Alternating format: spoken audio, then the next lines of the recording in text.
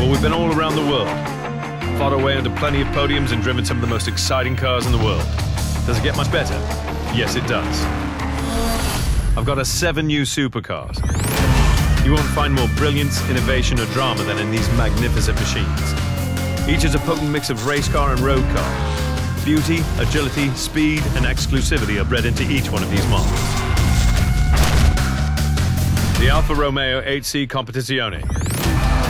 Maserati Blood, Alfa Romeo Soul. The Gumpert Apollo. The uncompromising function first rebel. The Mercedes-Benz SLR McLaren Stirling Moss. A retro-futuristic silver arrow. The Maserati Gran Turismo S. Grand touring substance, supercar sophistication. The McLaren MP4-12C. Created by champions past, engineered for the 21st century. The Acura NSX. Japan's convention challenging supercar. The BMW M1 Procar. Reliving a storied legend.